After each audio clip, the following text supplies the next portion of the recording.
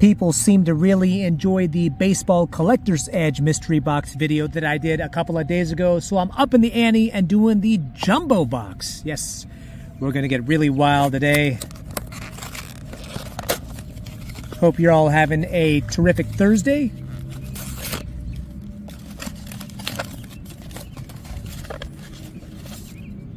And uh, here we go. Starting off with Aaron Judge. Not a bad way to start off. Sandy Alcantara. Yasiel, P- Yasiel Puig.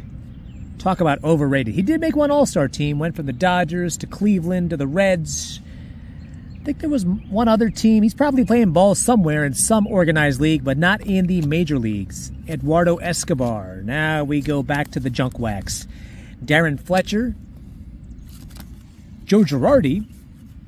I think in the last rip I pulled a couple of Joe Girardis. He is a World Series winning player and manager. This is Xavier Hernandez. Luis Polonia. He was on a couple of those World Series winning Yankee teams. This is Randy Knorr. Glenallen Hill.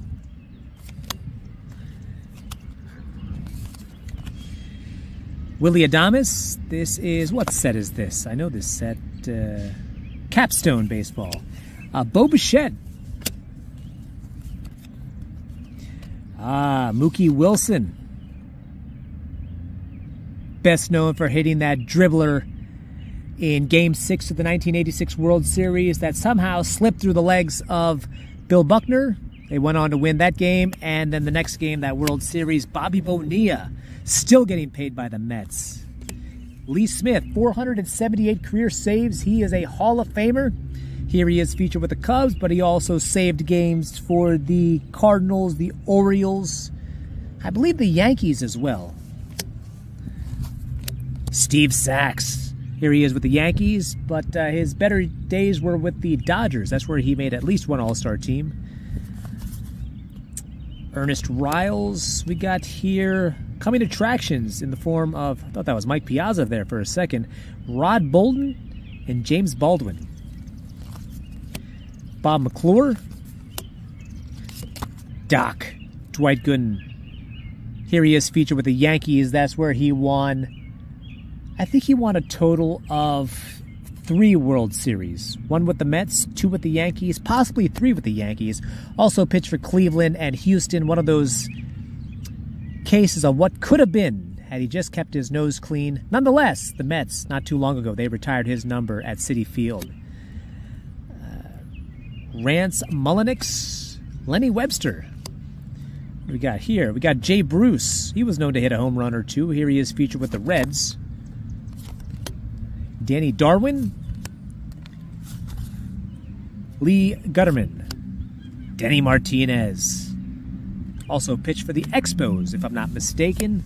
Uh, these were great looking cards to have. These were considered higher end cards uh, maybe $4 a pack back in 91. Pete Harnisch, Terry Pendleton, who was the MVP winner in 1992. Barry Bonds was the runner up. Probably if Bonds wasn't such a jerk, he was probably more deserving of that MVP award. Nonetheless, Pendleton, MVP winner for the Braves, also spent time with the Cardinals. Is here. Who do we got here? This is uh, Greg Briley, Jerome Walton played with the Cubs. He played for some other teams too as well. I can't I don't think he was rookie of the year. He might have finished very high in rookie of the year voting, but he did not win rookie of the year. Harold Reynolds, prolific base stealer who went on to become and still is a wonderful commentator for ESPN baseball.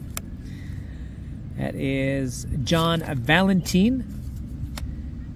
Jack Lazorko. Not familiar with him. I am familiar with Alan Trammell. He is a Hall of Famer, spent his whole career with the Tigers, and uh, got in, I, want to say it was his 10th year on the Hall of Fame ballot. Billy Hatcher, Pirates leaders. Looks like uh, Andy Van Slyke and Tony Gwynn, Mr. Padre. Andy Van Slyke, he won five gold gloves. He was a three time All Star. Best years were with the Pirates, but he had some good years with the Cardinals as well. Kevin Bass, This is Doug Sisk. Tim Teufel, he was on that 86 team. Daryl Miller, Lee Smith, once again, this must be the Lee Smith box. Here he is featured with the uh, Red Sox.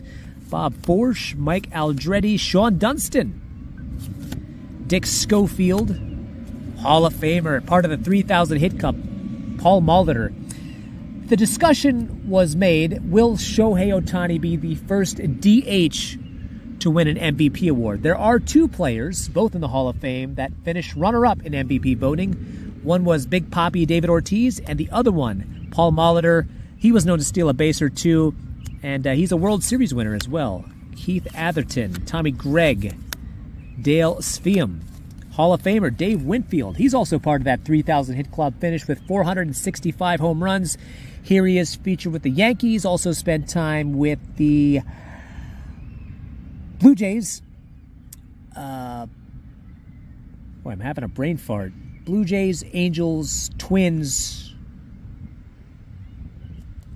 I want to say the Padres as well. But nonetheless, Hall of Famer. And uh, we got here a pack of, what year is this? Donruss Baseball.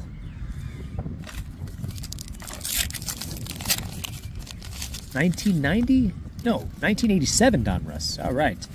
Uh, Guy Hoffman, Gene Larkin, Jose DeLeon, Cal Ripken, the Iron Man, 431 career home runs. He is a two time MVP and a World Series winner. Great ambassador for baseball. Eddie Williams, Pete O'Brien, Glenn Hubbard, Robbie Wine, Roger McDowell. I think he was on that 86 Mets team. Also appeared in the World Series with my Phillies in 92, where they lost to the Blue Jays. Mike Krukow, Willie Randolph. He made a few All Star teams. Here he is, featured with the Yankees, but he played for several other teams as well. Gold Glove winner. Claudell Washington, Lance McCullers, Harold Reynolds once again. Dwayne, I don't know how to pronounce his last name, so I'm not going to. Benito Santiago. He was an all star catcher. He was also one of those lesser known names that was wrapped up in the Balco scandal. And uh, that is it. That is it for this uh, baseball rip. Thank you so much for watching. A little bit of modern day cars, but more so emphasis on the junk wax. Uh, strong emphasis on the word junk. Uh, thanks again for watching. Be sure to hit like and subscribe. Have yourselves a wonderful day.